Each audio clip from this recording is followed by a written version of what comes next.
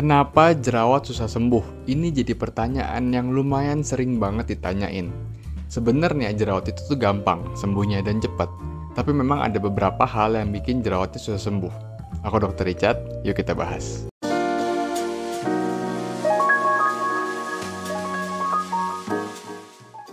Jadi, jerawat itu ada yang radang, ada yang nggak radang. Jadi memang setiap penanganannya juga beda-beda. Jadi memang jerawat itu terbentuk karena minyak, sel kulit mati sama kotoran yang membuat pori-pori dan ujung-ujungnya jadi jerawat. Dan juga ada beberapa hal lain yang bisa mempengaruhi kebentuknya jerawat tadi. Misalnya pola hidup. Jadi memang pola hidup itu lebih penting dibandingin skincare. Contohnya nih pola hidup yang salah, kayak kamu sering makan atau minuman manis, itu terlalu banyak, misalnya kayak makan kue atau mungkin minum teh-teh yang gulanya banyak, itu akan berpengaruh banget. Soalnya gini, gula itu kalau terlalu banyak dikonsumsi bisa meningkatkan produksi kelenjar minyak yang ujung-ujungnya kan bakal berpengaruh tuh sama terbentuknya jerawat. Ada juga pola hidup yang salah itu adalah kurang tidur, misalnya begadang gitu. Misalnya kamu tidurnya cuma 4 jam sehari, itu akan pengaruh banget karena nanti jerawatnya jadi susah sembuh. Jadi sebenarnya yang bagus itu tidur minimal 7 jam lah sehari. Itu tuh akan ngebantu sekali. Sama misalnya kalau kamu kurang tidur, itu akan meningkatkan keinginan kamu untuk konsumsi makanan manis. Yang ujung-ujungnya bisa jadi jerawat lagi gitu ya. Sama yang penting juga olahraga. Olahraga sangat berpengaruh sekali sama kesehatan kulit kamu karena akan kasih nutrisi ke kulit kamu yang ujung-ujungnya bisa mempercepat penyembuhan jerawat tadi gitu ya. Jadi memang akan pengaruh banget. Percuma jadinya kamu udah pakai skincare tapi pola hidup masih berantakan. Itu akan berpengaruh sekali sama susah sembuhnya jerawat. Skincare yang salah juga berpengaruh banget sama jerawat kamu yang susah sembuh. Nah, misalnya kayak gini, kamu pakai skincare yang nggak sesuai sama jenis kulit kamu. Misalnya, kalau kulit berminyak itu pakai yang bahan dasarnya air atau water base. Atau mungkin kulit kamu kering, kamu bisa pakai yang bahan dasarnya minyak atau oil base gitu ya. Jadi memang harus disesuaikan sama jenis kulit. Jenis kulit kamu ada berminyak, kulit kering, kulit kombinasi, kulit normal gitu ya. Emang harus dicek.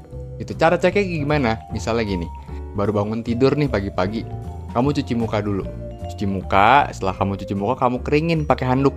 Udah dikeringin, kamu nggak usah pakai apa-apa dulu, nggak usah pakai moisturizer, nggak usah pakai sunscreen, nggak usah pakai serum, gitu ya, diemin dulu aja Diemin selama 1 sampai 3 jam ke depan. Ya, setelah udah 3 jam, kamu cek pakai kertas minyak. Pakai kertas minyak kamu cek, kamu olesin tuh ke semua muka kamu, gitu ya. Kalau misalnya ada minyaknya dikit, itu arti kulitnya normal, gitu ya. Kalau minyaknya banyak, berarti kulit kamu berminyak. Kalau nggak ada minyaknya, berarti kulit kamu kering. Kalau minyaknya itu cuma ada di bagian T-zone, di dahi, di hidung, itu arti kulit kamu kombinasi pakai kandungan skincare yang salah juga akan bikin jerawat kamu susah sembuh. Biasanya karena memang nggak tahu masalah kulitnya. Misal contoh kayak gini, ada sempet yang datang ke aku, konsultasi, tanya-tanya, dia kasih tahu kulitnya PIE, post inflammatory erythema atau bekas jerawat yang kemerahan. Nah, terus dia kasih tahu kalau dia pakai skincare tranexamic acid. Nah, tapi pas fotonya dikirim, ternyata memang masih banyak jerawat-jerawat yang lagi radang, gitu ya. Dan dia pakai tranexamic acid, ya jerawatnya juga nggak sembuh-sembuh atau malah tambah banyak, gitu. Jadi memang harus disembuhin dulu jerawatnya, baru kamu selesaikan bekas jerawatnya. Jadi memang harus kita pilih dulu nih, mana yang harus kita sembuhin dulu. Atau mungkin kasus skin barrier. Jadi memang waktu itu ada yang uh, tanya ke aku kirim foto dia jerawat tapi skin barrier keganggu. Nah kalau kayak gini jerawatnya kan bisa muncul karena skin barriernya rusak. Jadi mana yang harus disembuhin? Ya skin barriernya dulu kamu sembuhin. Jadi memang kita harus tahu dulu nih fokus uh, masalahnya tuh apa. Dan kalau misalnya memang jerawat, kamu jangan pakai skincare yang lain, pakainya kayak salicylic acid, benzoyl peroksida atau mungkin kayak retinol itu pakai bahan-bahan yang bahan aktif yang sesuai sama kebutuhan atau memang bisa menyelesaikan jerawat. Pakai skincare kebanyakan juga bisa bikin jerawat kamu susah sembuh. Misalnya kayak gini, kamu punya jerawat, kamu juga punya bekas jerawat, dan kamu juga mau kulit kamu makin cerah, gitu ya. Nah, pakai itu akhirnya skincare yang ada salicylic acid, terus ya pakai juga yang ada retinol, terus pakai juga yang ada vitamin C, pakai juga yang ada arbutin dan sebagainya. Jadi banyak banget yang dipakai. Ujung-ujungnya nanti skin barrier kamu keganggu karena memang ada beberapa mungkin kandungan skincare yang nggak boleh digabung. Jadinya skin barrier kamu keganggu, yang ujung-ujungnya malah bikin jerawat kamu jadi susah sembuh. Jadi memang pakai skincare itu ya harus tepat juga gitu ya. Kalau kamu punya masalah jerawat ya udah kita selesaikan dulu jerawatnya Jangan langsung banyak-banyak kamu pakai skincare yang ujung-ujungnya bikin kulit kamu pusing. Kulit kamu pusing ujung-ujungnya jadi jerawat lagi. Nah, ini yang paling sering nih, gonta ganti skincare. Biasanya itu mungkin ada beberapa hal lah yang mempengaruhi misalnya karena FOMO, itu takut ya, belum pernah cobain skincare baru gitu. Jadi yang keluar baru di internet langsung kamu cobain, kamu beli, kamu pakai. Jadi akhirnya gonta ganti atau mungkin karena memang kamu baru pakai satu minggu nih, terus nggak ada perubahan, kamu ganti. Atau mungkin baru pakai satu minggu, jadi beruntusan. Atau mungkin jadi muncul jerawat baru, terus kamu ganti. Nah itu sebenarnya nggak masalah. Kalau misal kamu baru pakai satu minggu, atau mungkin dia keluar jerawat atau beruntusan, itu nggak masalah. Karena memang masih proses adaptasi kulit kamu sama skincare baru. Jadi biarin aja, terusin aja. Biasanya sekitar adaptasinya itu sekitar mungkin kurang lebih 6 minggu. Kurang lebih 1 sampai 2 bulan lah cobain kamu pakai. Terus kalau memang nanti makin jerawatan ya boleh kamu pikirin tuh apa mungkin pola hidupnya masih berantakan ya? Misalnya masih sering makan manis ya atau begadang ya. Kalau memang kamu udah pola hidupnya udah bener terus dia makin jerawatan ya mungkin kamu boleh pikirin untuk ganti. Mungkin aja nggak cocok. Salah tipe jerawat juga bisa bikin jerawat kamu susah sembuh Misalnya gini, jerawat itu kan ada jerawat ringan, jerawat sedang, jerawat berat. Nah, kalau jerawat kamu tuh jerawat ringan sampai jerawat sedang, itu masih bisa pakai skincare. Contoh jerawat ringan sampai sedang itu kurang lebih gambarnya kayak gini. Ya, biasanya itu dia merah, cuman ada satu dua, ada matanya. Nah itu masih bisa tuh pakai skincare.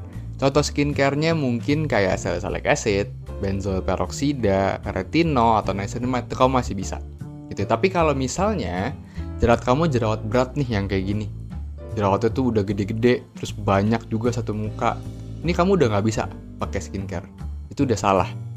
Itu ya udah harus konsultasi sama dokter. Udah harus kasih tahu ke dokter dok jerawat aku jerawat berat nih kayak gini ya.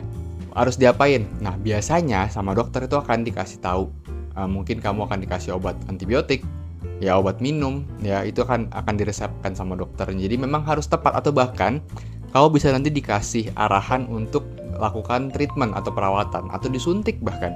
Jadi memang kalau jerawatnya salah, ya pakai skincare kayak gimana pun ya nggak bakal bisa sembuh atau mungkin kayak contoh kasusnya ya kalau jerawat kamu jerawat berat, kamu pakai skincare ya susah sembuh juga pasti akan lama sekali sembuhnya. Jadi memang kamu harus tahu nih tipe jerawat kamu yang seperti apa. Kebersihan kulit kamu juga memang harus dijaga. Karena kebersihan itu memang mepet banget ya, nempel banget sama jerawat gitu. Kalau misalnya kamu nggak bersih, otomatis akan bisa bikin jerawatan karena kan yang nempel ke kulit kita adalah kotoran salah satunya gitu ya. Jadi memang cuci muka itu harus.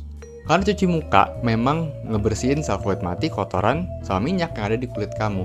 Tapi jangan sampai keseringan cuci mukanya. Ya, cuci muka tuh cukup 2 sampai 3 kali aja. Jadi misalnya kamu bangun tidur, mau tidur atau mungkin kamu habis aktivitas kayak olahraga, itu kamu boleh cuci muka. Karena kalau keseringan cuci muka itu akan menghilangkan minyak alami di kulit kamu. Ya jadi nanti kalau kamu keseringan cuci muka, kayak misalnya kamu 10 kali cuci muka, dia akan ngilangin minyak alami di kulit kamu yang ujung-ujungnya bikin kulit kamu kering. Kalau kering nanti iritasi, bisa jadi gangguan skin barrier yang ujung-ujungnya bisa jadi jerawat juga. Jadi akan susah sembuh tuh. Atau mungkin gini, nggak bersih juga dalam artian kamu bisa pakai makeup atau pakai bedak gitu ya. Kamu bisa bersihin pakai double cleansing. Karena kalau nggak bersih bisa muncul jerawat gitu. Jadi double cleansing itu wajib kalau kamu pakai makeup atau kamu pakai bedak. Misalnya kamu pakai cleansing balm, cleansing cleansing oil atau mungkin kamu pakai micellar water dulu. Jadi memang harus double cleansing kalau kamu pakai makeup atau pakai bedak. Jadi memang pola hidup itu harus benar, itu udah paling penting sekali. Pakai skincare juga harus tepat dan juga harus benar jangan sering-sering ganti gitu ya dan bahan-bahannya itu kandungan aktifnya harus benar terus kalau memang kamu punya jerawat yang berat kamu harus konsultasi sama dokter buruan deh langsung konsultasi gitu ya dan jangan lupa untuk jaga kebersihan oke okay? Mungkin itu aja yang hal-hal alasan-alasan kenapa jerawat kamu susah sembuh. Kalau kamu mau tanya silahkan tulis di kolom komentar. Semoga bermanfaat. Aku Dr. Richard. Terima kasih.